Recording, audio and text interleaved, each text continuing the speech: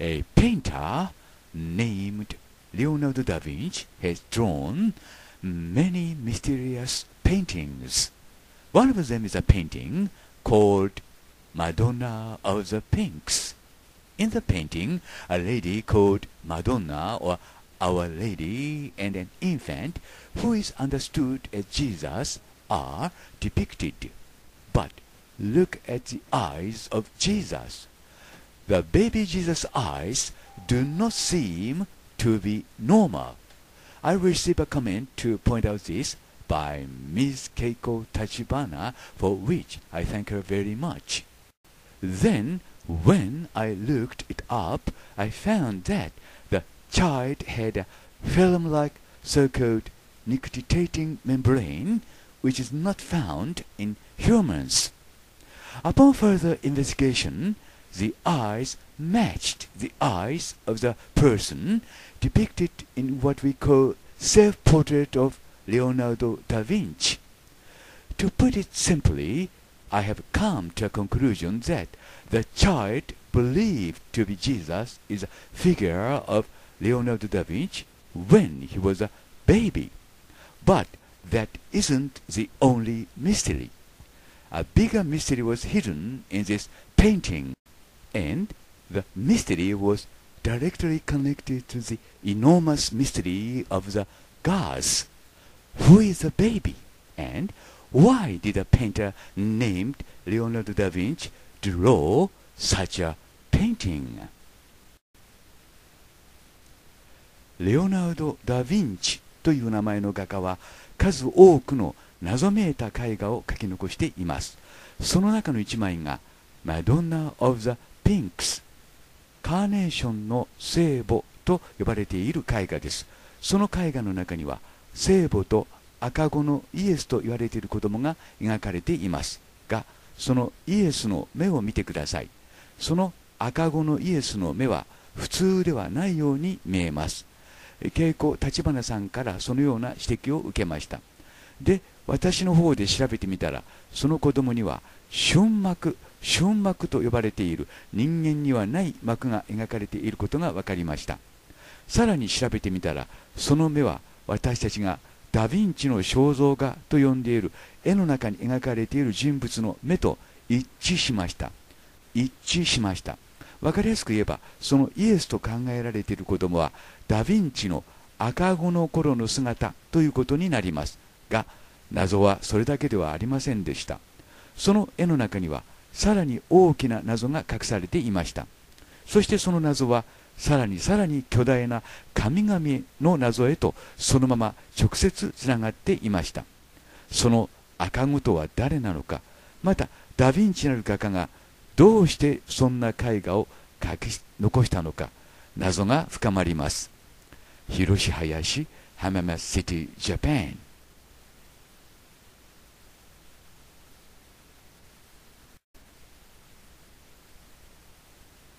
どんな思想家にもある決まった一定の思考回路というのがあります。画家もまたしかりですね。でこれらの絵画は一応レオナルド・ダ・ヴィンチなる画家が描いた絵画と言われています、えー、モナ・リザそしてラベレ・フェロニエーレそして皆さんご存知のマドンナマリアということになります。でこの場合はですねレオナルド・ダ・ヴィンチなる画家はですね大抵まあ2枚ずつそうした絵画を残しているわけです。でよく見ると老いと若き若きと老いという関係になっています。ダ・ヴィンチの私たちが知っている肖像画についても2枚あります、えー、若きダ・ヴィンチと年老いたダ・ヴィンチということになります。そして右上がですねカーネーションの聖母と呼ばれている絵です。その絵の中の、まあ、このイエスと言われている子供の目に注意してください。普通ではありませんね。で立花恵子さんからですね目がおかしいという指摘をですね勉強会の席でいただきました。で調べてみると確かにおかしいと同時に先ほどお見せしましたようにこの目はですね私たちがレオナルド・ダ・ヴィンチの肖像画として知っているあのダ・ヴィンチの目とパーフェクトに一致します。つまりここに描かれているのは、まあ、2つの考え方ができるわけですよね。ダ・ヴィンチの子供時代の姿。逆に言いますと私たちがレオナルド・ダ・ヴィンチの肖像画として知っているあの肖像画はですねイエス自身の姿であるということにもなるわけです。それはともかくもこの子供の体に注意してください。手と腕足と、まあ、脚ですねに注意してください。何かしらシームレスの、まあ、1枚でできた衣服のようなものを身につけているのが分かります。そしてシワも不自然です。左のシワに注意してください。普通衣服でないとこのようなシワはできないものと考えています。極めつけは足ということになります。足を見てください。足の上にですね何かしら衣服を身につけているように見えます。でこれは何かということですけども私はこれを皮膚と判断しました。そして足手の部分はですねその衣服がない。つまり皮がめくれていると判断しました。つまりここに描かれている子供は少なくとも人間ではないということになります。もう一度確認してください。この子供の体は衣服で包まれているのではなくてこのような体であったということです。つまり皮がめくれるタイプの子供であったということになります。でもう一度レオナルド・ダ・ヴィンチの思考回路を理解するために外堀を埋めておきます。皆さんご存知のモナ・リザですよね。アイルワースのモナ・リザ通称ヤング・モナ・リザと呼ばれている絵です。そしてその絵とですねモナ・リザの絵は一致しています、まあ、やや傾きていますか、えー、絵を描いている方向が違いますが細部に至るまで同じということになります。それを皆さん自身の目で比較してください。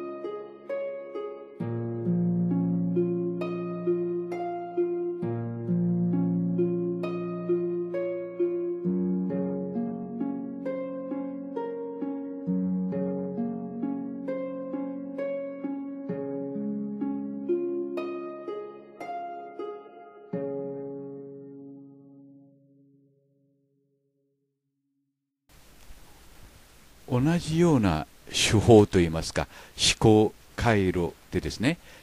ラベレ・フェロニエーレと題された絵も描いています。白点を抱く貴婦人ということになっています。でこの左上にラベレ・フェロニエーレという文字が隠し込まれていました。がそれは今日のポイントではありません。ともかくも一人の画家がいてですねその画家が絵を描くときには、まあ、そうした思考回路というものが、まあ、自然と出てきてしまうということではないでしょうか。言い換えるとですねこのレオナルド・ダ・ヴィンチという名前の画家はですね2枚同じような絵を描くということにこだわったということですね。そして同時にその2枚はですね若き日の人物と同じ人物なんですけども、まあ、年を取ってからの人物にこだわっていたということになります。今ご覧いただいているのはついでですけどもここに、えー、名前が書いてあります。ラベレ・フェロニエーレ。そしてレオナルド・ダ・ヴィンチの署名もその中に書き込まれています。上にラベレ・フェロニエーレ。そして下にですねレオナルド・ダ・ヴィンチと書かれています。英語式に書かれている点にも注意していただきたいと思います、まあ、中世のイタリアの画家たちはですね英語を使って自分の名前を表現していたということになります。それは今日のポイントではありません。がしかし、重要な意味を持つ、まあ、証拠ということになります。ともかくも、まあ、ラベレ・フェロニエールのニエーレの絵もですね2枚あるということですね。右の方が左よりも年を取ってからの絵ということになります。つまり私の考えによればですね時空を超えた画家であるがゆえにですねこのように若き日の人物そして同じ人物なんだけれども年老いてからの人物にこだわったということではないでしょうか。が奇妙なことにこのラベレ・フェロニエーレについて言えばですね右はラベレ・フェロニエーレと言われています。がしかし左の人物は別の名前で呼ばれています。がその絵の中にはラベレ・フェロニエーレと書いてあります、まあ、つまりこれら2人の人物は同じ人物だということですね。で今左の方をですね縦縮みしてみたりあるいは、え、横縮めしてみたりしました。つまりこれらの絵はですね手で描いた絵画ではなくてコンピューター、まあ、今でいう、えー、画像処理ソフトのようなものを使って描かれた絵であると私は判断しています、えー、極めて精緻に描かれているという点も忘れてはなりません。つまり人間技ではないということですね。つまりレオナルド・ダ・ヴィンチなる画家はそのような手法を使ってこうした絵を描き残したということになります。そしてよく似た手法でですね描かれているのが言うまでもなくマドンナつまり聖母の絵ということになります。でその前にモナリザの絵について補足しておきます、えー、右がモナリザ左が、聖アンナと聖母子の絵です。でここの絵の中にこの絵の中に描かれている手前の人物はモナリザです。顔を比較してみるとそれが分かります。顔というのは違いがないという点で同じ人物と判断します。左が聖アンナと聖母子の中に描かれている手前の人物です。右が、えー、モナリザです。左の人物には喉仏があります。そして、まあ、細部に至るまで同じということですね、えー、髪の毛の、まあ、表現の仕方も同じです、えー、編み方も同じです。ただ左の方はややセットが乱れています、えー、細い薄い、まあ、何ますか眉毛そして唇ですね。淡い唇長い鼻とんがった鼻とんがった顎などが一致します。というか違いが全くありません。つまりここに描かれている人物はモナリザということになります、まあ、ここでも2人の人物が同時に書かれているということになります。左が糸巻き糸車の聖母ですね。ですけどもこの人物と今度は中央の、えー、聖アンナと、え、聖母子の絵の向こう側に描かれている人物の、まあ、その顔が一致します。左が、えーマリアですから右もマリアということになります。一般の一般説ですね。美術評論家の方たちの説とは全く違った解釈ということになります。特に向かって左の、えー、右目に注意してください。全く同じです。つまり左がですね若き日々若き頃のまあ、マリア。右がですね、まあ、それから年を取ってからのマリアということになります。ですから左のマリアはですね赤子を抱いています。中央のマリアはその赤子が大人になったつまりはイエスを膝の上に抱いています、まあ、こうしてつながっていくということですね。えともかくも今日のポイントは若き日のマリアとそしてから年を取ったマリアを同時にレオナルド・ダ・ヴィンチが表現しているということになります。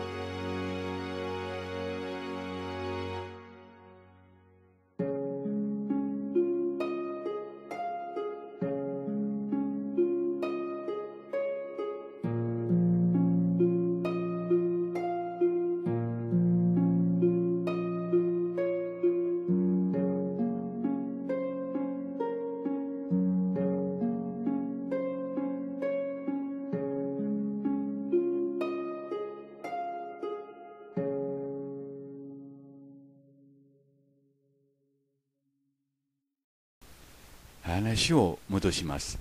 え左が糸車の聖母子、聖母ですね。で、中央が聖アンナと聖母子の中に描かれている向こう側の人物ということになります。これら両者は全く同じです。えつまり、左がですね、若き頃のマリアということになるわけですね。そして右がま年老いてからのマリアということになります。膝に抱かれているのは一応イエスということにするならばですね、左の人物はえー、イエスがまだ赤子の時のイエスを抱いているということになります右の人物はそのイエスが成長し大人になった時のイエスを抱いているということになります、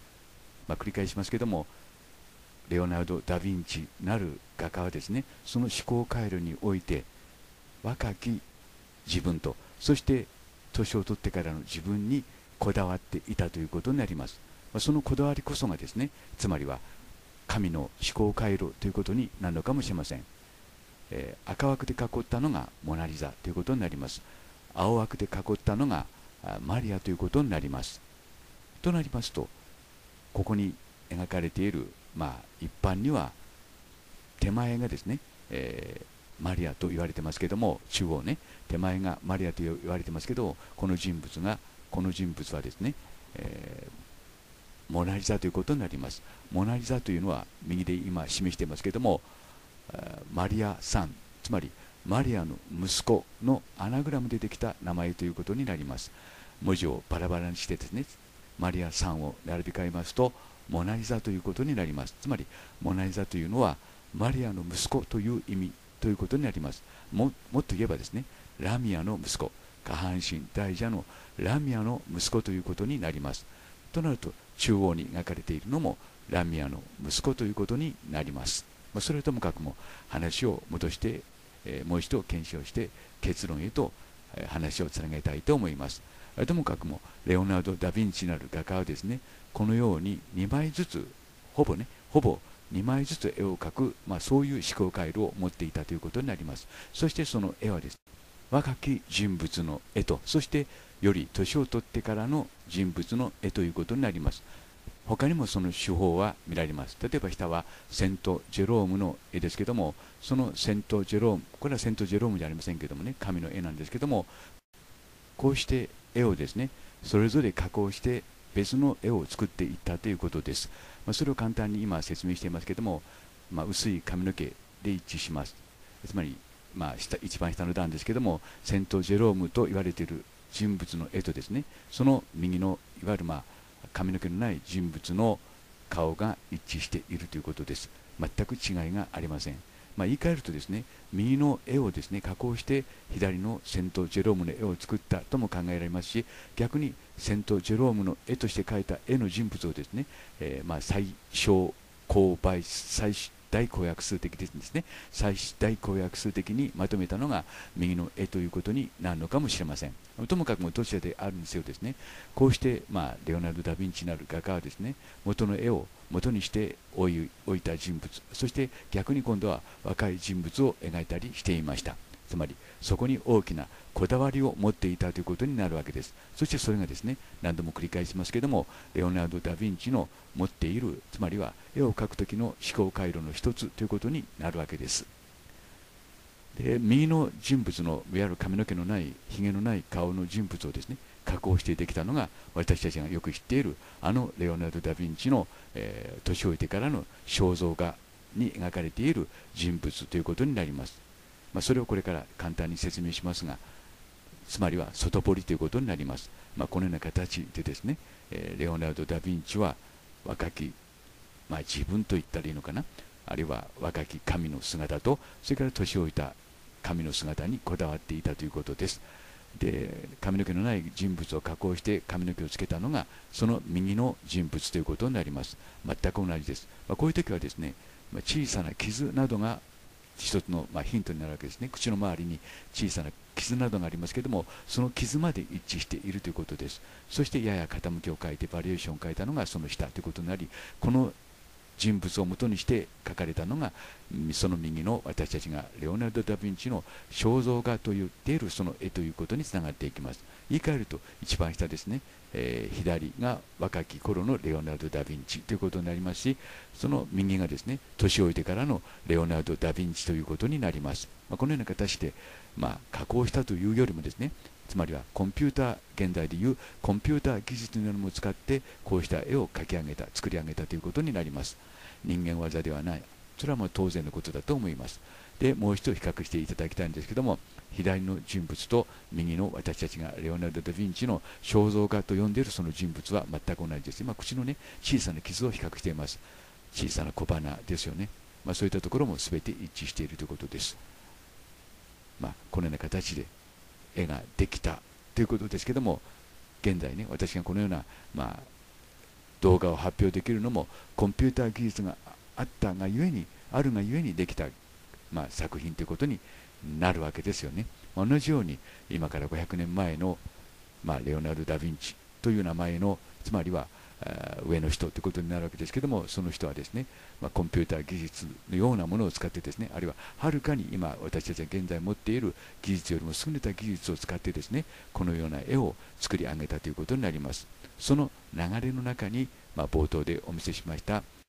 カーネーションの聖母の絵があるということになります。そのカーネーションの聖母の中に描かれているイエスの目とそして、まあ、私たちは現在ダ・ヴィンチの肖像画としているその人物の中に描かれている目がパーフェクトに一致しているということですね。これをどのように解釈するかについてはまだ様々な考え方ができると思いますけれども今のところ考えられることはですねつまりは、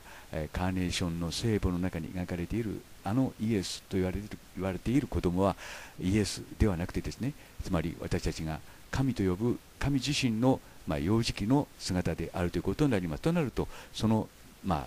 あ、赤子を抱く女性はですね一般には聖母マドンナつまりマリアと言われていますけどもマリアではなくてですねつまりは、まあ、その神の本物の母親であった可能性も出てくるということになります。で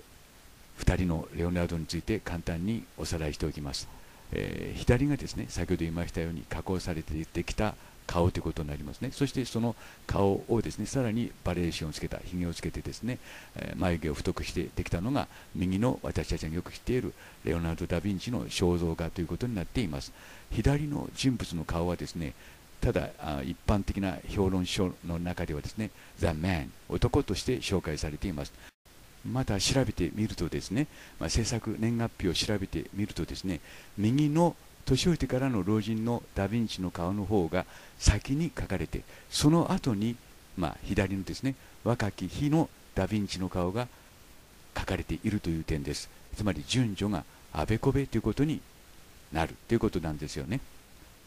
まあ、それも大変興味深い点ではないかと思います。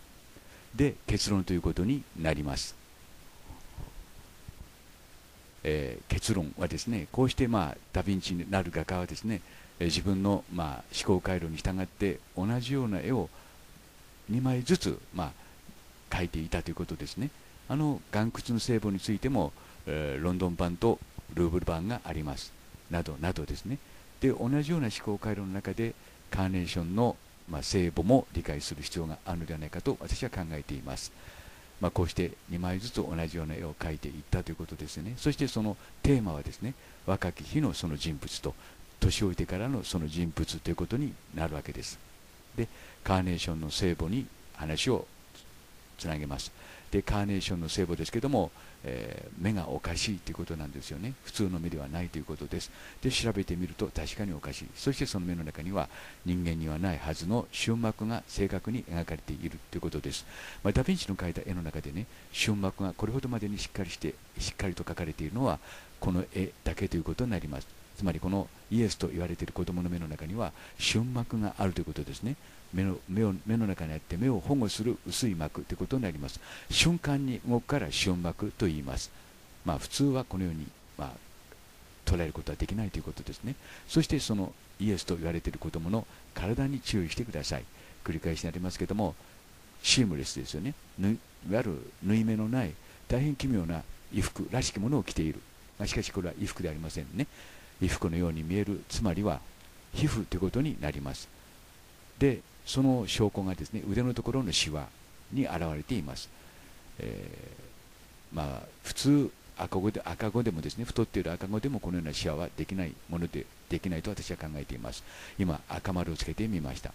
で極めつけはですねやはり手と足に足ですね、まあ、何かしらのこう衣服の中から手と足が出ているように見えます。今赤丸をつけてみました。右の方に注意してください。で拡大してみるとですねやはり奇妙なんですよね。私の方で着色などは一切していません。足がですね衣服の中から、まあ、出ているというような感じがしますね。今小さい矢印のつけてみましたからそこに注意してください。手も同じように表現されています。つまりこの赤子はですねまあ、皮膚をですね、何度も言いますように、えー、がめくれるタイプの子供であったイコール少なくとも人間ではなかったということになります。となると、この赤子は誰かということになりますと、つまりは、えー、マルトックへとつながっていくわけです。その動画はこの後につなげておきますから、またご覧になってください。つまりここに描かれているのは、イエスではなくてですね、つまりその上の神、つまりマルドゥックのこの分時代の赤子時代の、まあ、マルドゥックということになるのではないでしょうか。そしてそれを抱く母親はですね、えつまりはマルドゥックの母親ということになります。Bye for now.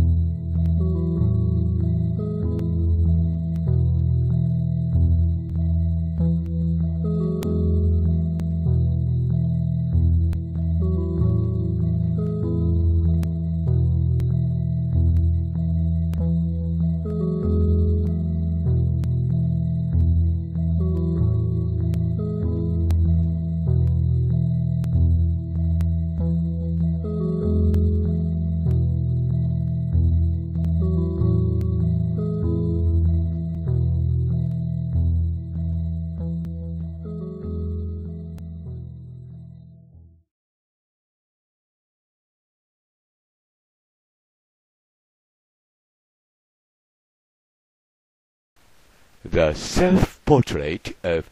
Saint Jerome is Jesus Christ after 1500 years in the Renaissance.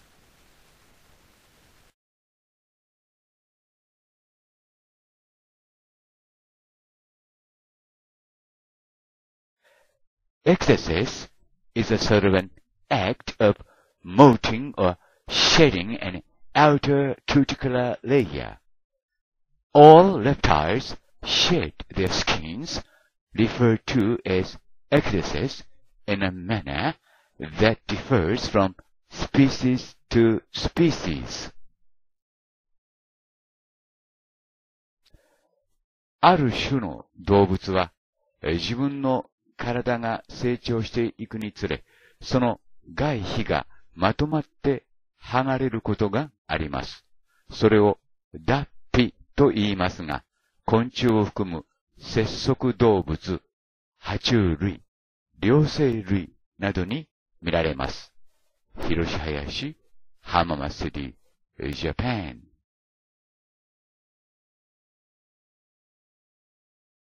1500年後のルネッサンスに現れたイエス・キリストは、アンドレア・デル・ベロッキオの名前で、こんな絵を描き残しています。セント・ジェロームの絵と言われています。その絵の首のところにはですね、奇妙な横ラインが走っているのがわかります。この黄色い枠で囲った部分に注意してください。この矢印のところに奇妙な横ラインが走っているのがわかります。このラインは何かということですね。この横ラインに注意してください。全体に明度を上げたり下げたり、あるいはコントラストを上げたり下げたりしていますが、部分的には何も手を加えていません。で、こうして見るとですね、この横ラインのところで、上半分と下半分がですね、風合いが違うのがわかります。注意深くご覧ください。この横ラインは何かということで、今日もう一度検証し直してみることにしました。このラインは何かということです。ここが今日の重要なポイントですから、もう一度繰り返します。これは1500年後のイエス・キリストが書き残した絵画ということになります。絵画というよりは、写真から起こされた絵ということになります。えー、頬のところなどにはですね、感染、つまり汗の穴の一個一個まで丁寧に描いてあります。描いたというよりも写真です。で、これがイエス・キリストの自画像であると私、林博は判断していますが、彼は誰なのか、何なのか、そしてどこから来たのか、この絵を検証すれば、それがわかると私、林博士は判断しました。その謎を解く鍵が、この横ラインにあると私、林博士は判断しました。ということで、もう一度、この横ラインに注意してみてください。この横ラインですね。上半分と下半分に分かれています。で、私は以前、この横ラインはですね、下半分がバイオスーツではないかと判断しました。何かしら薄い、まあ、バイオスーツのようなものを身につけていると判断したわけです。で、もう一度、イエス・キリストは少なくとも人間ではなかったという視点で、この絵画を検証し直してみることにしました。この横ラインは何かということです。そこで皆さんに4枚の絵をご覧いただきます。1枚目は岩窟の聖母ルーブル版です。この絵の中に描かれている聖母に注意してください。向かって左側、聖母の右手の人差し指に注意してください。聖母の右手の人差し指は、この子供、つまり一般にはイエスと言われている子供の皮膚の下に潜り込んでいるのがわかります。聖母の右手の人差し指に注意してください。一般には、これは衣という風に理解されていますけども、これは衣ではありません。私、林博士は、神秘と判断しました。注意深くご覧ください。えつまり、聖母の人差し指は、この子供の神秘の下に潜り込ん、潜り込んでいるということになります。注意深くご覧ください。そして、腹の部分にも注意してください。これは衣服ではありません。線が途中で消えている点に注意してください。衣服ではありません。このように、まあ、この子供の皮膚はですね、まあ、神秘がめくれるタイプの子供であったということになります。左上がトカゲの、まあ、脱皮している様子です。そのトカゲの、まあ、神秘と、まあ、脱皮の皮とですね、子供の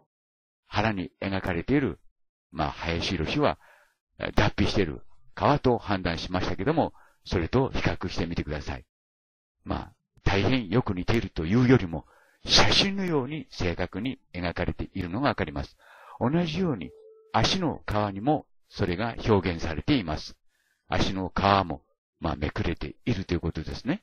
で、別のトカゲの写真を見ていただきますけども、やはり同じように表現されているのがわかります。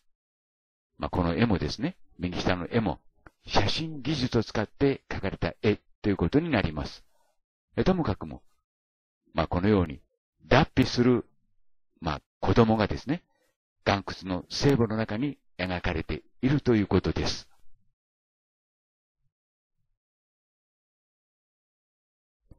二枚目の絵は、聖アンナと聖母子と一般には呼ばれている絵です。この絵の中の手前の人物に注意してください。手前の人物の右手の先に注意してください。この手前の人物の右手の先は、やはり同じように子供の皮膚の下に潜り込んでいるのがわかります。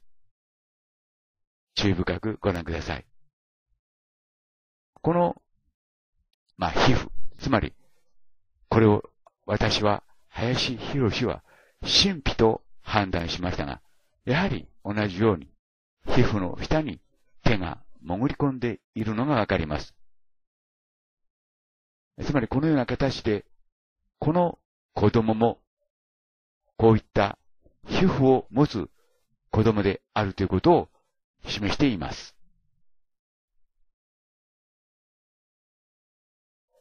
三枚目の絵は、一応、ミケランジェロが描いたとされるカシナの戦いの絵です。これも、やはり1500年後のイエス・キリストが描いた絵ということになります。ミケランジェロという操り人形芸術家を通して発表したということになります。この絵の中には自分の顔を剥いでいる人物が何人か描かれています。服を着ているのではありません。自分の顔を剥いでいます。これはイナンナ・イスターです。ズボンのような皮膚をですね、やはり剥いでいるのがわかります。そして、この人物もズボンのように見えますけども、ズボンではありません。皮膚ということになります。そして、右下には、この人物が描かれています。靴下を履いているのではありません。皮膚を剥いでいます。そして、頭には、鼻冠をつけています。つまり、この人物こそが、この群像の中の王であることを示しています。そして、この人物がですね、1500年後のイエス・キリストの自画像ということになります。それについての動画はつなげておきますから、またそちらをご覧になってください。これがイエス・キリストの自画像ということになります。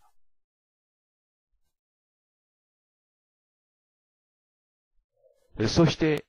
4枚目の絵は、ジョルジオ・バサーリの描いた絵画です。この絵もまた大変奇妙な絵です。向かって左側の人物に注意してください。そして、この人物が持っているものに注意してください。そこに描かれているのは直角定規とコンパスです。つまり、フリーメイソンの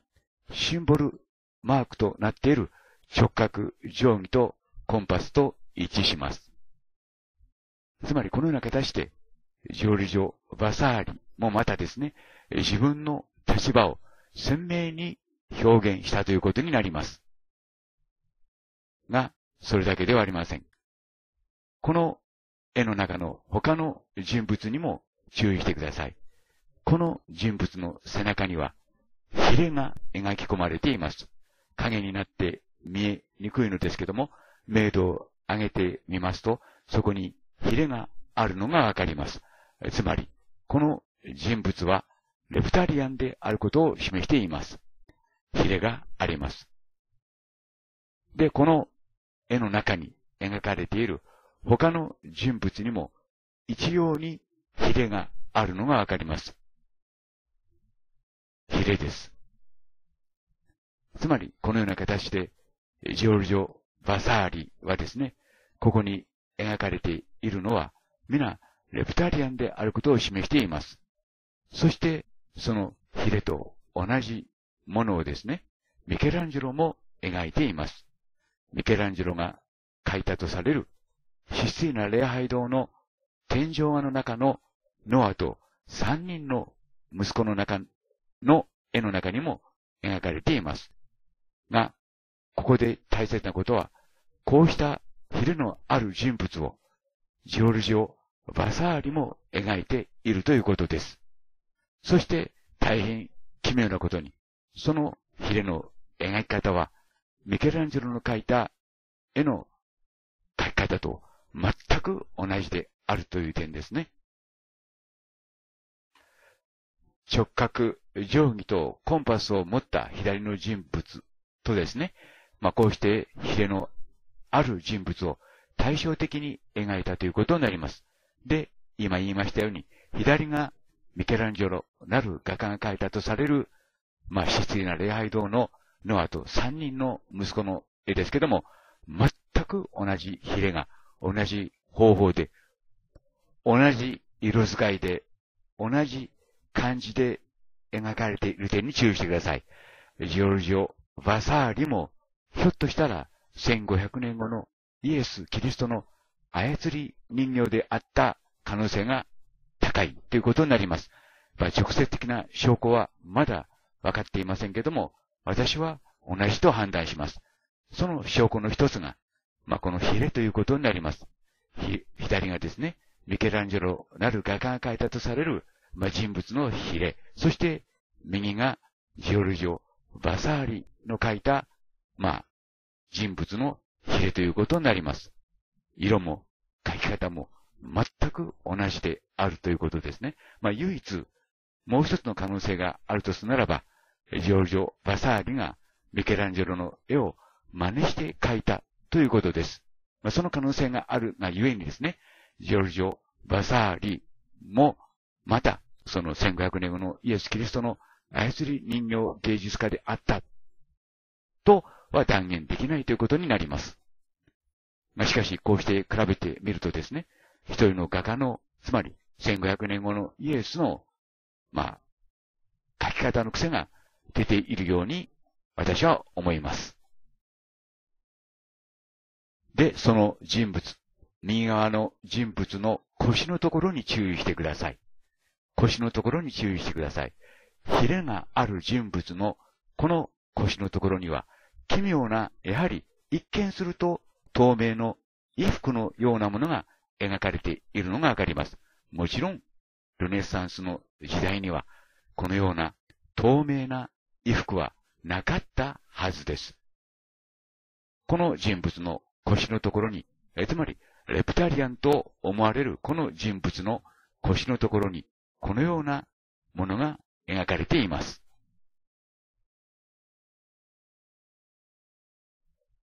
で、結論ということになります。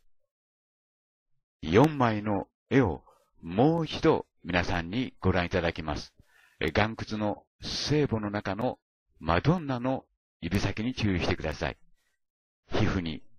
潜り込んでいます。そして、聖アンナと聖母子の絵の中の手前の人物のこの右手に注意してください。やはり、まあ、腹の下にですね、手が潜り込んでいるのがわかります。そして、私、林博がえー、1500年後のイエス・キリストと反対したこの人物もですね、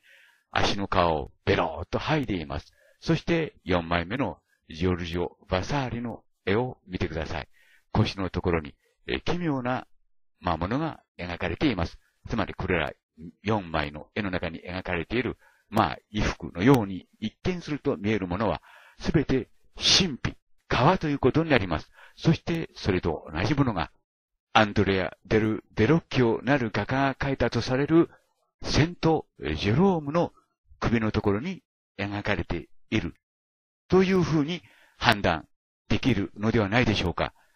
このセント・ジェロームの首の下のラインと、そして他の4枚の絵と比較してみてください。えつまり、このような形で、まあ、1500年後のイエス・キリストは、自分の正体を明かしたということになります。繰り返します。この首の下に描かれているのは神秘ということになるわけですね。つまり、このような神秘を脱皮するタイプの、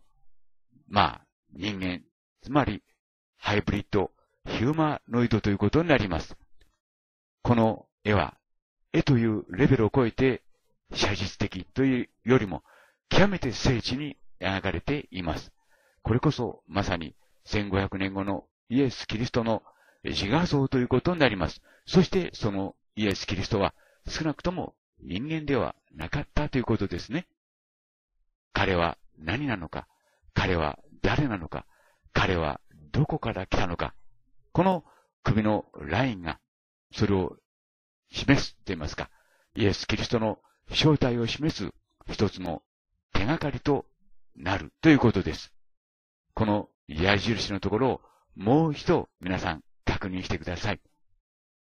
このラインは何かということですね。えつまり、このラインこそが